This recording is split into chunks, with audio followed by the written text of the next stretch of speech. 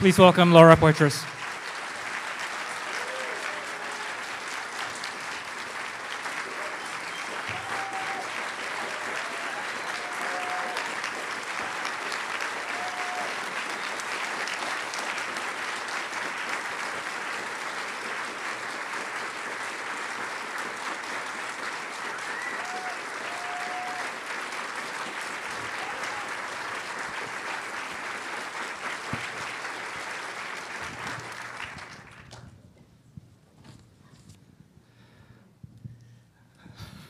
Laura.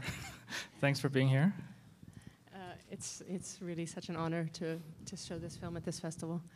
Um, but actually, before you dive in, um, there are people Please. who are in the film that um, that I'd like to acknowledge and and thank. So um, I believe Glenn Greenwald is here. Where's Glenn?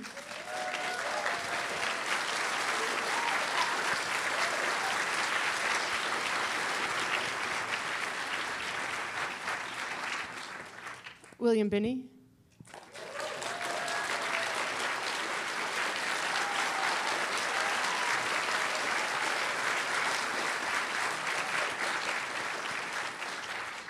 Uh, Ewen, Ewen MacAskill, I believe, is here.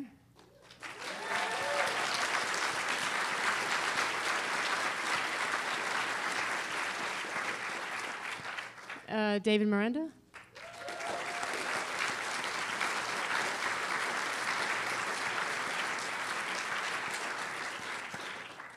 And I think I think that's it. If I'm if I'm missing, I think that's for who's here. Um, and I wanted to do one other thing that we couldn't do last night. We um, uh, at the after the premiere is, is to it's, and it's actually also somewhat relating to the film is to is to thank the funders who supported this film, and um, uh, they came on board in the most unusual circumstances because when we um, approached each of them, we asked them to to be incredibly discreet about the film and about the contents of the film. They, all of them, made trips to Berlin to watch the cut.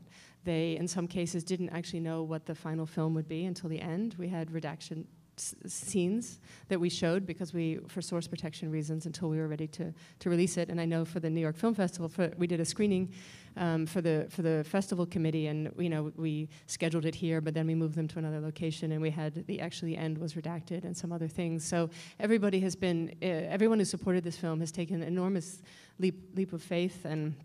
And it has kept confidences that we've asked them to to keep um, for the purpose so that we could do our work as securely as possible until we were ready to release it. So, um, so I'm grateful to all the people who supported this film, not just for their support, but for their sensitivity to the, the demands of this film. So I'm, I'm going to have to name them. So, um, first and foremost, um, uh, Radius, who's distributing the film.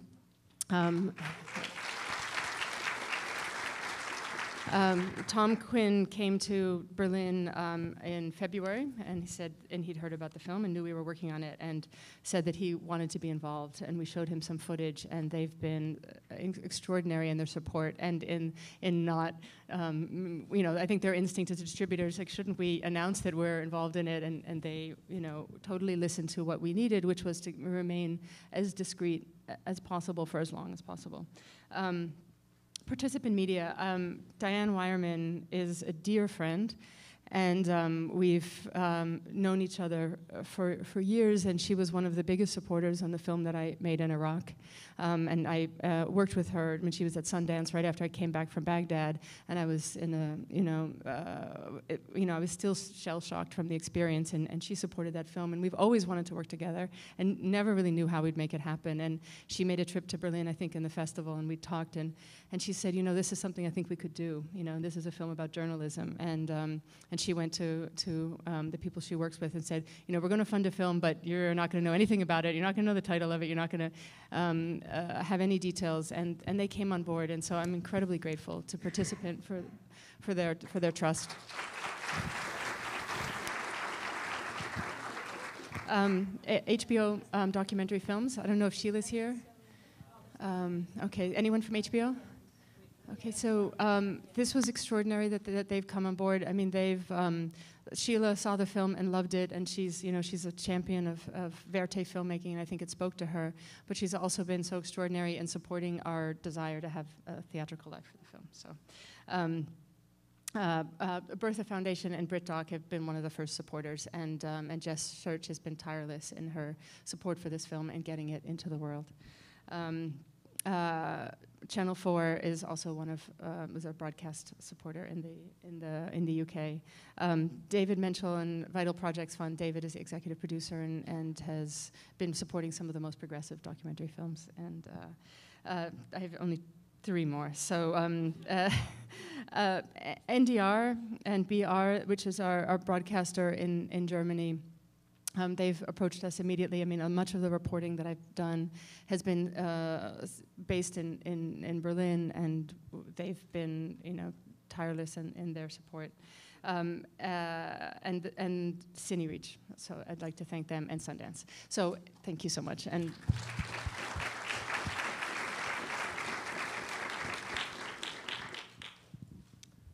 okay. Um, there's there's a lot to talk about. Um, but uh, I'll start with with with this with a big multifaceted question. Um, I was hoping you could talk a little bit about just balancing the needs um, between reporting and breaking a news story and, and being part of that story and also making a film.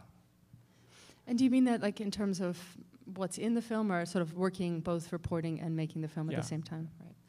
Um, because you were in that hotel room, and obviously you did release, you know, video, and were part of that. You you were, you were part of that story breaking um, right. a little over a year ago, but at the same time you had this longer term film right. in mind. Yeah, I mean it's been a complicated sort of navigating roles um, while making this film. I mean, in the months when I was receiving the the emails from Snowden.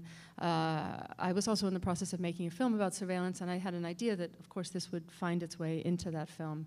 Um, and I was very much, you know, that relationship was, you know, a source journalist relationship, and he was claiming to to have evidence of um, NSA surveillance, and uh, and but when it sort of became clear um, that I would meet him, um, and I should contextualize it. For a long time, I thought that I was in dialogue with somebody who was an anonymous source that I would never meet, never knew who they are, that I would receive documents, and, and that we that I would you know team up with people and we would report. Um, I think it was in, in April where he communicated to me that in fact his identity would be revealed, that he didn't intend to remain anonymous, and that his identity would be revealed and both because it would be you know discovered and because he didn't want to remain in in the shadows. And when he told me that um, is when I sort of said okay well as a filmmaker then I said then really we need to meet and I want to be able to film you. And his first response was was no. He said that he that the story isn't about him it's about the issues and that he wanted that to be um, what people focused on and I responded by saying that, well, the fact that you know he's putting his life on the line to reveal this information was very important for the public to know, and that only he can answer that question, and that the documents won't speak to that.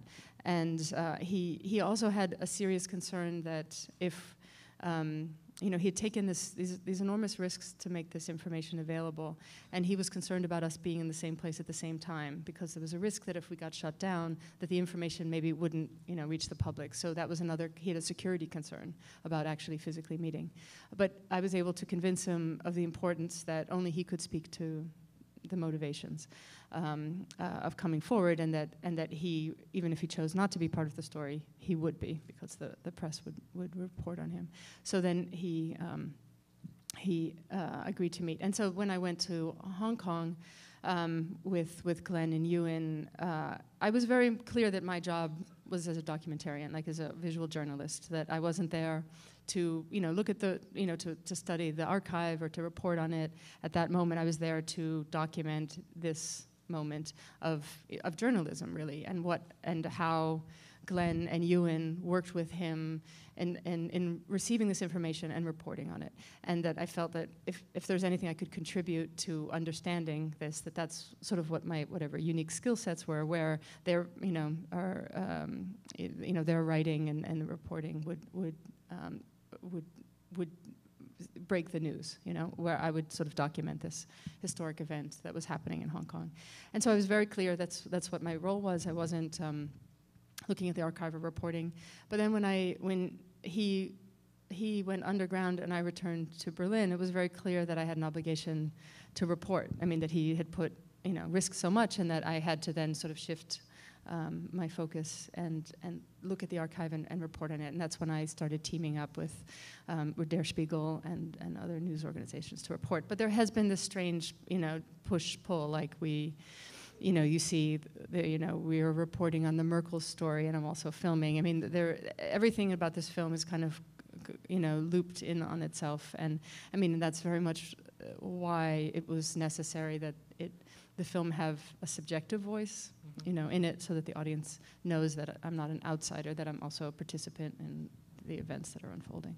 Could you talk about that a bit actually? Because on, uh, this is the third film in your in your post 9/11 uh, trilogy. Um, and I think it differs from the other two in, in several significant ways. I think the most obvious one being that you are a um, you know a, a, participant in the story, um, and um, it's you are not present in the other two films. Um, can you talk about the the, the thought process and, and how yeah. you arrived yeah, at? You sure. Know, I mean, not unlike Snowden, I actually didn't want to be in this film, as my editor, as Mathilde, would testify to. That I had to be no, but it was clear that I had to be, you know, uh, that I had to be present in in the film. Um, uh, because the audience had a right to know that I was a participant in the events. Um, but the question of how to be sort of subjective, it's, it's a complicated one for these three films. The, when I made the film in Iraq, I was filming with Iraqi civilians, and it was a very dangerous time to be working in Iraq. And but I didn't want to be the focus be on on the Western journalist, you know, in a dangerous conflict zone, because then sort of all the em- empathetic energy could sort of move towards me rather than the people that I actually wanted to be um, the focus of the story. So in that, so in Iraq, it was I absolutely didn't want to draw any attention to the circumstances of how I was working or any risks that I might face, because it was about having people understand what the the occupation is like from the perspective of Iraqis and, and, and the US military. So I'm very invisible in that film. I mean, I, I, always think that, you know, obviously there's a camera there, so I'm, I'm sort of part of it, you know, i have been invited, so I'm, I'm present.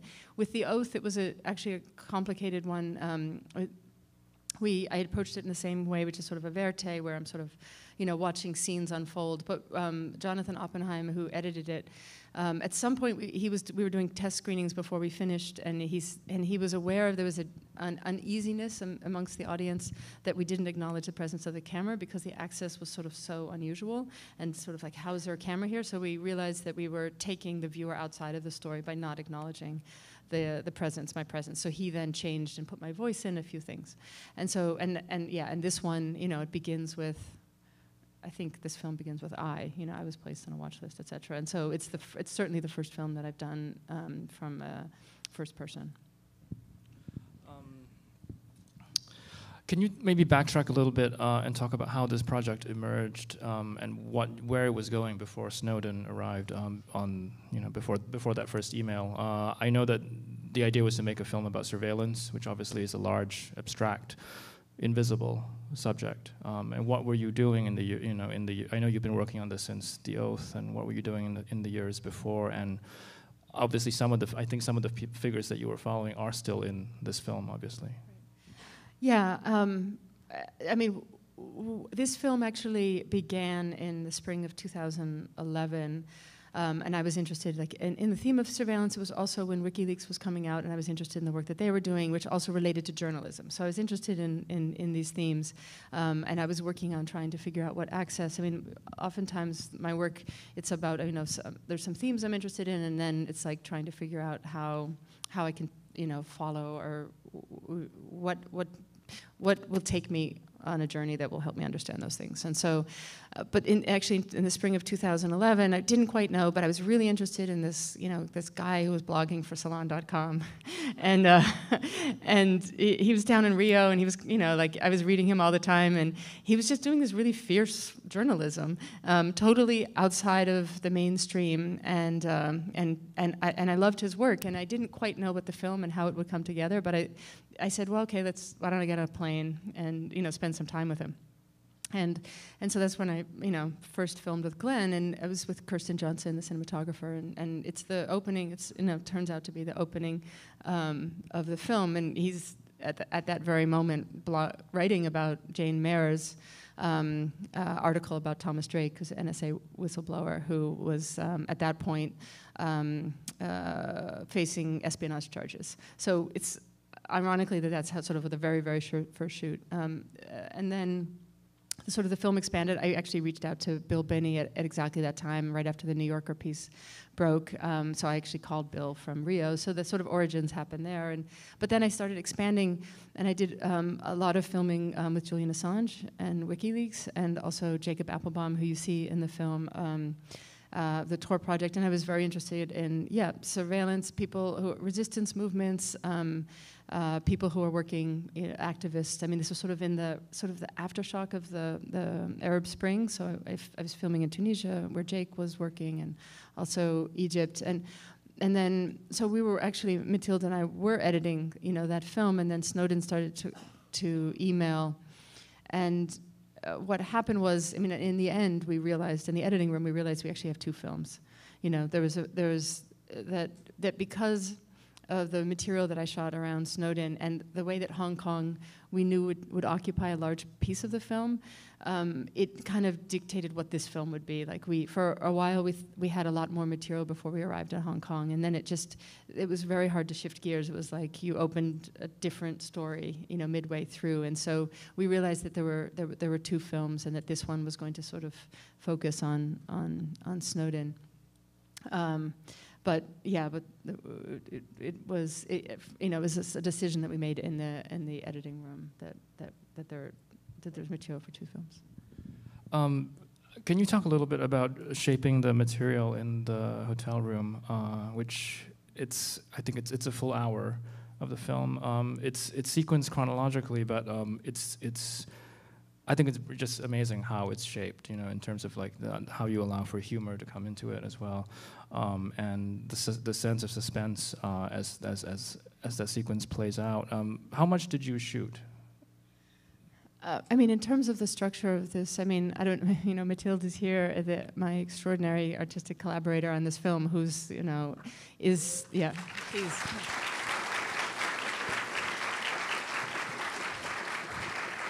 And and I actually would say like she should come down and actually address. I mean, I would I would love to invite you down to to answer that question.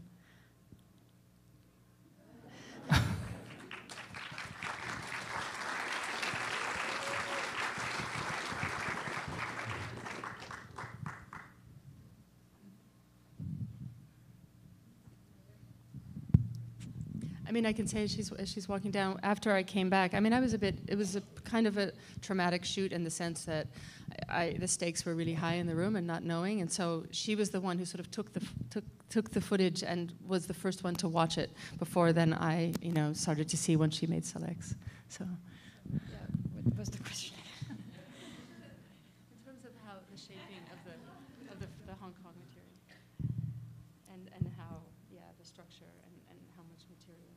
Yeah, I think we had some. We I, I didn't really count the hours, but I think we had something like 20 hours of footage for for Hong Kong. Maybe that's a bit exaggerated, maybe, but that's around the the time we had. And um, it was what was particularly difficult about it was that it was all extraordinary. All of it was completely extraordinary. We could have we could have taken anything more or less, and it would have been shocking and, and beautiful. So the the the difficulty was to to make to, to, to make choices knowing that we left out uh, passages that would have been also mind blowing. Uh, that's one of the aspects of it. But of course, very soon, what we also noticed that was that we needed to follow a very clear narrative line, which was that of uh, a story unfolding in that verite style, which is almost like a fiction film. You, you follow things as they happen. And um, the more we did that, the more we started to understand that um, we could not go into certain directions. For example, we had to steer clear from um, opinions, uh, statements that Snowden made that were very beautiful and that were very um, uh, compelling also in, in, what he's, because of course you notice he's extremely articulated and very uh, thoughtful person. And so he made extraordinary statements that we were very tempted to use, but then af after a while we noticed that we could not use them because we, it was taking us out of this narrative uh, form that we were finding. So that was one of the main discoveries we made.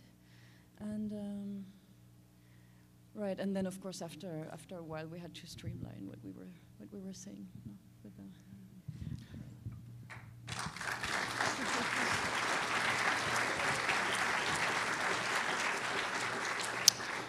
Uh, would love to take some questions from the audience. Okay, many hands. Uh, you do? Okay, great. So is somebody going to call in the audience or should I? I will? Okay. Um, let's start there. Yes? For the microphone. Microphone's right there. Uh, first of all, thank you very much uh, for this uh, movie and for this documentary. I was wondering if you could speak a little bit. In an, two occasions, Snowden talks about uh, the drone program and its effect on his decision making. Um, could you say something more about it or how he articulated the reasons for his um, reaching out to you? I mean, you know, uh, I think the reference that we included where he says that, you know, one of the motivations is, is you know, being in the NSA and seeing, you know, the escalation of the, the drone program as, as, as and, and also, you know, how he articulates that, you know, hope like, that, there, that some of these policies would be reined in and they weren't and that there was these kind of um, escalations in certain in certain policies, and and so it's it's actually really what you you know we we show you what what he says on that, which is that it's one of the things that that brought him forward was was about the drone program. W- a- And I can say, obviously, it's echoed at the end, you know, when, when it's um, brought when somebody else also um, comes forward to to to expose th- this program. Hi, uh, thank you for your bold filmmaking. I was just curious, how does um, Edward Snowden feel about living now in Russia? I mean, in general, I, I, I avoid speaking on, on his behalf. I mean, I think though, but I think you can say that I, he, he, he, I think he's grateful to have political asylum. I think he's not aligned with, you know, all of the, you know, the, the political reality there. But I think that he made the choice that he, you know, didn't, didn't feel that, that, that staying, you know, in the U.S. was an, was an option for him. So I think he's, you know, but I, I think he's also, um, I, I, think he's keeping options open if, if there are other possible countries to, for him to seek asylum. Yes. Am I on now? Um, so my question is, um, I didn't understand the urgency to, rele- to to put stories out while you were in the hotel room, um, because none of those stories were, in, to my perception, time sensitive. Um, so my question is, why wasn't more care given to the plan for what would happen to ensure Snowden's safety rather than, I mean, all of a sudden there was this crazy environment created. I didn't understand the reason for that. Does my question make sense? And then does. related to that is, was there really, really no plan beyond what we see in the film for what Snowden would do to ensure his safety? Right. Okay. Um, I, I mean, I think that the, in terms of a timeline, um, I mean, uh, let me step back and say that um, I didn't know that he was leaving the country until he had actually already left.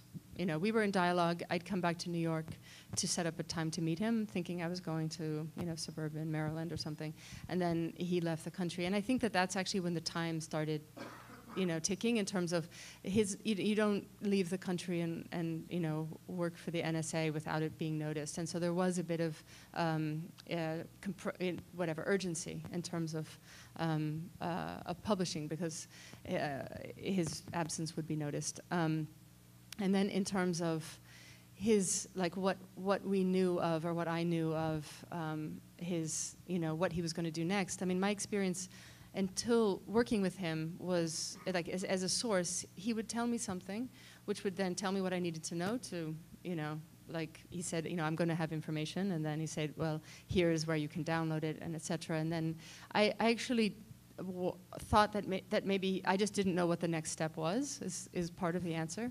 Um, and yeah what you see and then i realized or what we realized um, in hong kong is that all of his planning did actually end there you know, that that actually was, and that um, and that when you know the lawyers came in, that that you know they then um, uh, helped him you know go underground, and so.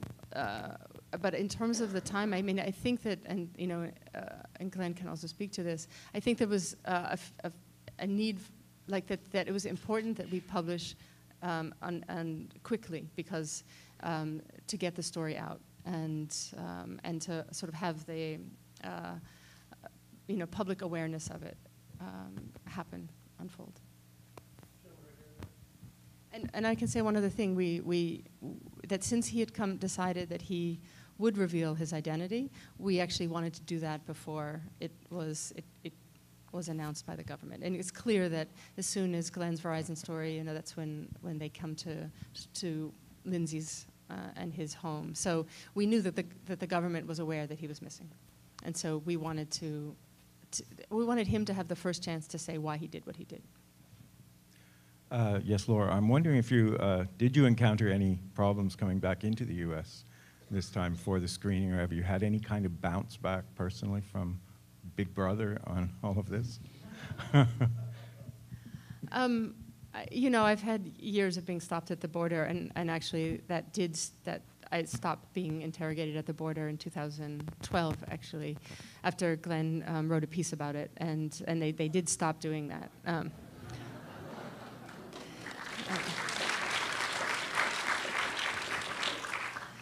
Uh, and in, in terms of coming back, I didn't have any problems, um, uh, you know, and I haven't been contacted by, by the U.S. government uh, regarding this reporting. I think this is going to be the last question, but just a reminder that we have a talk with Laura at four o'clock as well. Hi, Laura. Um, I and my organization represent a number of civilian victims of drone attacks, people at the sharp end of the chain that you show at the end of your program. And there's something about the movie I have a hard time sort of reconciling, which is that you guys have exposed a system that is unbelievable in its sophistication and its power. I mean, the kind of short version is that we all live in the panopticon, right? But the civilian victims of drone attacks are an example of the limits of that system and the way that, notwithstanding how powerful metadata collection is, the mistakes are made. And what I, what I can't understand and what I can't reconcile is how does that happen? Does, to you, does it speak more to the indifference of the United States government to the lives of people in Yemen and Pakistan who die, or to the limits of the technology, or some mixture of both? I mean, I mean the mistakes. I mean, let's let's just say. I mean, I would you know I would say that you know the drone program, whether or not they. I mean, it's it's it's outrageous we have a drone program that where we're you know targeting people um, and and killing them, uh, whether or not the, you know that is based on metadata or anything. You know that, that that we you know we think of democracies as having something called the rule of law, and that's what you know what you know, does, the drone program will never align itself with that. Um, but in terms of, yeah, I mean, I think there actually, you know, they there is indifference to civilian. I mean, we know that from, you know, I, I spent time in Iraq. There is indifference to, to civilian ca casualties, um, and. Uh, you know, and hopefully that changes, and hopefully we'll continue to do reporting that will hopefully have some impact and, and raise awareness um, for the civilian consequences of, particularly the drone program.